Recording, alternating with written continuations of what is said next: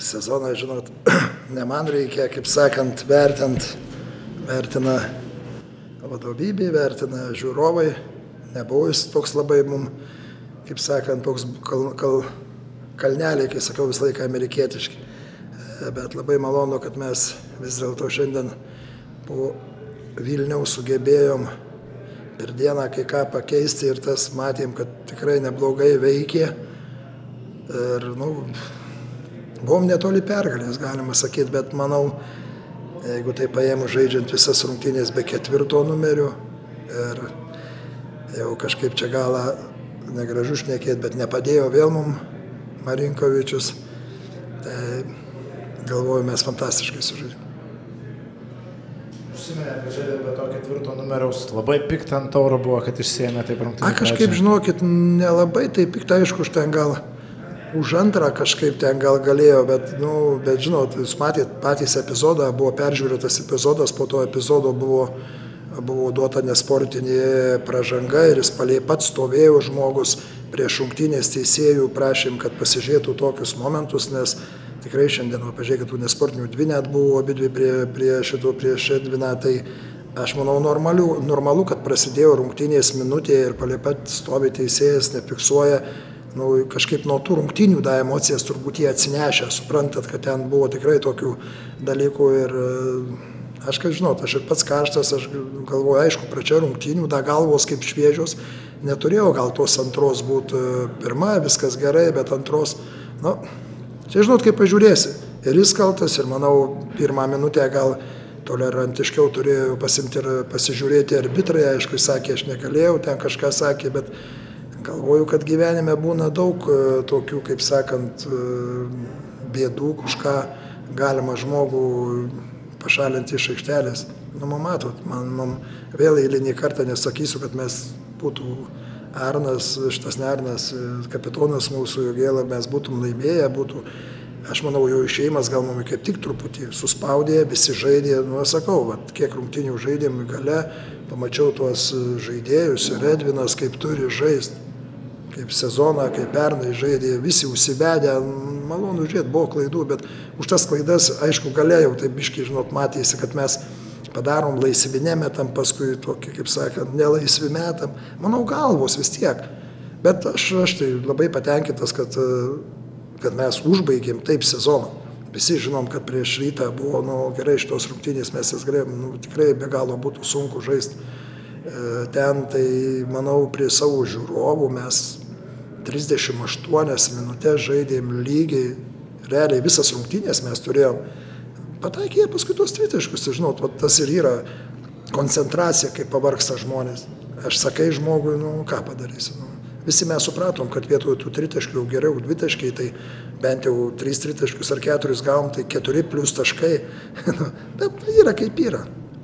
Buvo ta situacija plus 5 ketvirtam kelnį ir tada 8-0 atkarpa rytas laimėjo ten tos karštos galvos klaidelės turbūt ir pakišo labiausiai koja. Ne, nu žiūrėkit, labai paprastas visur dalykai. Mes neatsikojom kamulio.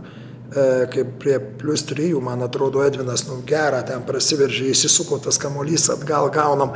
Nu čia sakau, va, su tokiam komandom žaidžiant ir gale, nu, tokie va visokie, suprantat, gaunasi, va, kabliukai, va ten furma ėjo, galėjo ant galo užėjti, gal taškai galėjo būti tas, tas, nu, nepasirinkom paprasčiausia tose vietose, kur reikėjo atakuoti, mes netakavom, kur reikėjo nusimesti, mes atakavom. Tiesiog aš, aš jiems sakiau, ant galo Edvinas šiandien neblogai žaidė ir tvarkėsi, centravo, aš jiems sakiau, mes kitam Edvinui, tegu nu jis ten prametė, bet kai eina žmogui žaidimas, nu, žaidžiam, žaidžiam, nu, tai sakau, truputį, manau, ten, nu, normalu, jie pradėjo keistis 1-5. Neturime tokių tų žaidėjų, kurie kurie viens ant vieno, matėte, ir buvo, nu tai Edvinas, nebent va, kaip prieš mažesnį tokį arba gali, bet nei mūsų centras, matėte, ir Furma, ėjo Kreišmantas, neturime tokių žaidžiančių labai nugarų. Jokėlos nebuvo, nu, nėra pasirinkimų. Du mažai Kreišma, Edvinas Furma. Nėra. Ir mažai. Aš tik gal, aš tik džiaugiuosi vieną, tikrai vieną dalyką, kad mes užbaigėm su tikrai gerom emocijom žiūrovom tikrai nebuvo, kad atvažiavom, pervažiavau ir viskas. Ryto patys žaidėjai įdomi sakė, ačiū už tokį sparingą. Gal prognozė LKL atkrintamosiams? Atkrintamosiams. Nu, aš vis dėlto eičiau prie to, kad pusfinaliai žais žalgerį, šitas e, vilkai su rytu. Čia gal jie atvažiavo rytas truputį gal tokį, kaip pasakyti, gal galvojau, kad jiem da, jau gėlą išėjo, gal truputį jie nuėmė gazą, tokį nepataikė, viską atsipalaidavę. Jie kai žaidė, pavyzdžiui, su, su mumi Vilniui, nu, tai jie tikrai davė gerą kovą, su jais labai sunku žaisti. Visi, visi žmonės gali pataikyti, visi. Su tokia komanda labai sunku. Negali rizikuoti nei per vieną žaidėją. Pažiūrėkit, parizikavom su Mačiuliu, Bamtrajakas. Su tuo visi metą. Ir aš manau, manau, kam bus labai sunku su jais. Daug tų įvairiausių kalbų ir sezono metu, tai gal tas atsakymas, ar Virginijų Šešku matysim toliau Jonavoje? Oi, klausykit. Padaryta keturi metai. Manau, nuveiktas, nu, nežinau, čia, klausykit, kitiem reikia vertinti, bet aš manau, nuveiktas labai didelis darbas. Prieš keturis metus mes laimėjom nacionalinį. Pasižiūrėkit pavyzdžius, šiais metais visi lyderiai. Nėra lengva patekti į tą. Galbūt susiklostė situacija nelaimėję, kaip gal ir dabar dar jaunavos nebūtų tam alkaliu.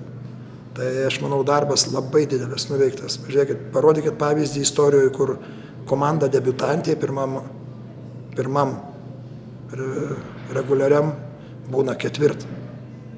Mes, debutantai, buvom, likom penkti, kaip žinot, likom ketvirti. Parodykit debutantė, kur KMT antrą vietą užima. Aš galvoju, čia kosmosas buvo, ką mes, aš manau, toliau žaidžiant visur tie visi dalykai mes įvertinsim. Ne mes įvertinsim, jo navai įvertins, ką, ką padarė. Dabar šiais metais buvo, kaip pradžioje buvo net kitokių, kad mes buvom ten šeštoji, septintoji vietoje daugelis tokių kaip Moek, čia jaunava, bet mes, pažiūrėkit, prie šito dalyko, kas pas mumis, kaip mes visa, visus metus keitėm, darėm, tai aš, čia savo ne man, bet aš galvoju, čia labai geras rezultatas. Ką dabar pritelė ir polisis? Gal pirmą polisis, nes žinokit, labai taip yra, nu sunkus metai labai. Ir emociškai, ir visapusiškai, ir labai, aš galvoju, žinot, esmė mes pernai labai vėlai baigėm, paskui labai anksti pradėjom pradėjom sudėti, žiūrėti, nesiklyjavo, negavom žaidėjų, sakau, nu, labai sunku. Tai aš galvoju, čia visą tą dalyką įvertinus, tikrai nežinau, čia jums sakau, jūs šnekat popkestuose, tuose visuose viską, bet jeigu tai paėmus buvo ir teisybės yra pasakyta visko, bet daug ir neteisybės yra pasakyta apie Jonavą, nes paprasčiausia ne visi žinot visus tos niuansus, kurie buvo. Tikrai pasako iš nuogirdų viską, bet tikrai nebuvo lengva faina. Kas buvo skaudžiausia iš tų kalbų, kurios sukosi aplink Joną? Ar buvo kažkas, kas tikrai palėtė, kaip sakant, širdį? Ai, nenoriu, nes, e, žinot, meluot nenoriu, teisybės irgi nenoriu sakyti, buvo tokių dalykų, bet aš kažkaip, žinot, aš, man buvo labai sunkus e, metas, nuo kokia, kai mes pralaimėjom šiauliams, kur tikėjomės mes išeiti, pralaimėjom šiauliams, atleidimas e, žaidėjų, atsimint, kivirčias buvo ir labai ir buvo jau daug abejonių, aš pats galvojau gal išeiti. E, paskui tas laimėjimas e, prieš Vilkus išvyko iš 6-7, davė tokio, kaip sakant, e, buvo pasiūlymas Klaipėdos važiuoti dirbti Klaipėdą, diskusijos, bet aš priėmiau tą sprendimą, nes išėjimas iš čia būtų kaip pasidavimas.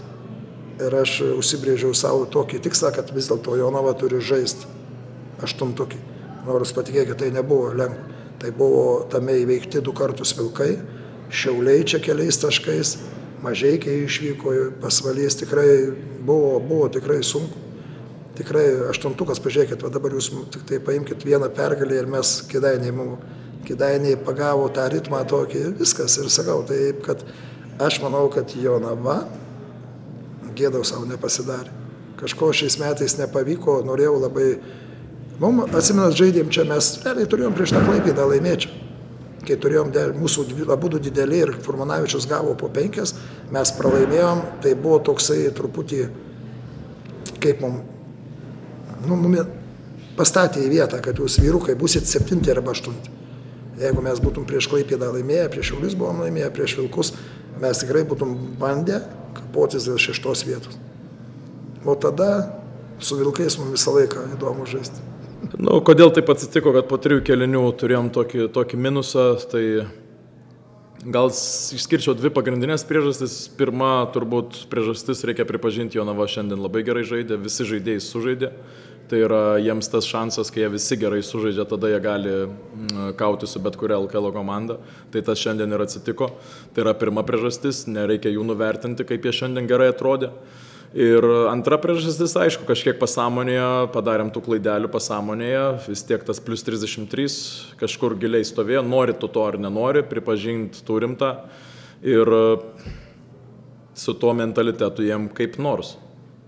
Tai va tas ir gavosi, bet paskui ir pirmoji rungtinių pusė, sakyčiau, daug e, tokių pavienių žaidėm po vieną tiek polime, tiek gynyboje. E, ne, nestatėm kūno ten, kur reikėjo statyti, nedarėm pažangos ten, kur reikėjo daryti. Ir, e, bet antroji rungtinių pusė po truputį, po truputį pavyko persigrupuoti, grįžti į tą playoffo režimo. Playoffas, kas yra playoffas, tai yra kiekvienas rungtinės yra visiškai, absoliučiai nauja istorija. E, Daug nuo šio, nuo šio etapo dabar bus visos rungtynės tokios pačios ir, nu, sąžingai pasakysiu, gal net ir geriau tokias rungtynės to ekstra adrenalino turėti e, prieš pusfinalius, e, kur bus pjautynės, iškart galima tą, tą sakyti, su kuo bežaistume ir svarbiausia, kad turim namų pranašumą ir sveikus žaidėjus.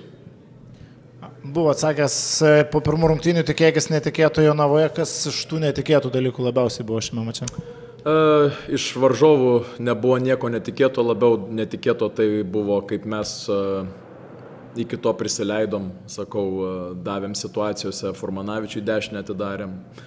Tie, kai rungtynės, kai trečio, kai to pačio trečio kėlinio pradžią pradam su backdooru, tokie, sakau, pasąmonės dalykėliai, kurie labai mums trukdė šiandien, o Jonava šiandien uh, išnaudojo taip, to, tokias klaidelės išnaudojo kaip pačio aukščiausio lygio varžovas išnaudotų. Tai va tos klaidelės ir ta, ta žinutė tokia, kad, nu, ateinančiose kovose, kas, kas bebūtų varžovai, jie tokias klaidelės tikrai vers skaudžiais taškais. Galima teikti, kad tais svarbiausiais rungtinių momentais tas susikeitimo gynybo nuo pirmo iki penkto buvo kertinis raktas faktorius?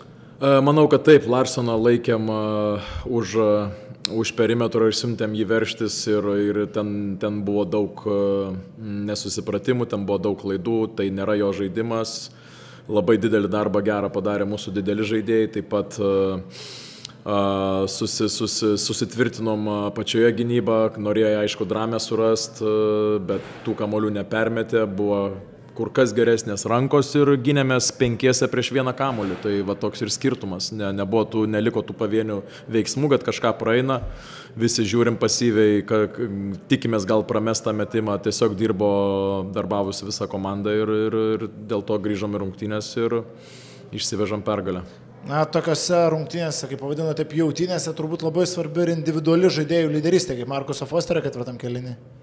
Manau, kad lyderystė yra svarbi ne tik žaidėjų, kurie pelno taškus, lyderystė yra svarbi ne tik aikštelėje polime, visų pirma, aikštelėje duodant tonusą gynyboje, kas tą pavyzdį parodys.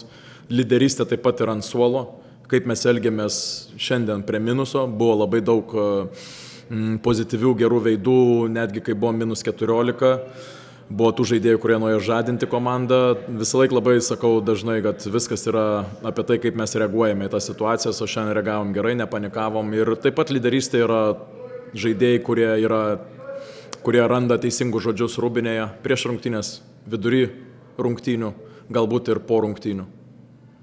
E, Markusas sugrįžęs į Vilnių kalbėjo, kad kažkiek pasikeitęs yra, kad dabar daugiau įtraukia komandą buvo rungtynių, kur ir kažkiek pasivesnis buvo, bet atėjus playoffams atrodo, kad e, gyvenais tais lemiamais metimais, ar čia, nežinau, kažkiek galbūt pats su juo kalbėjote, ar grinai jo iniciatyva, visi tie lemiami metimai dabar beveik atitenka jam.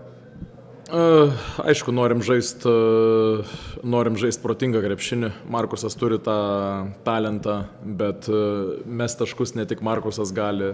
Aišku, lemiamais momentais jisai dažnai turės kamoliu.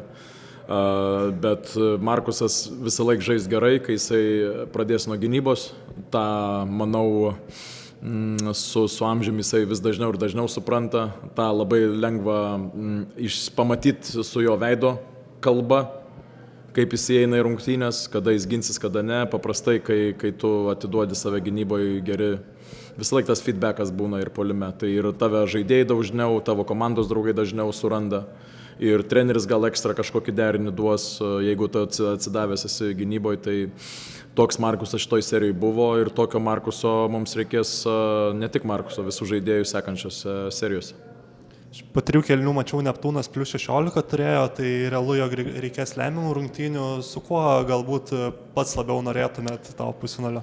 E, papraš, pasakysiu paprastai, šito paprasčiausiai mes negalim kontroliuoti ir e, svarbiausia sakau, kad e, su kuo bežaistume mes turim namų aikštelės pranašumą, būri, būri fanų, kurie nori, nori na, su mumis eiti iki galo, užnagarį stiprų, tas yra svarbiausia. Ir o kaip bus, tai bus.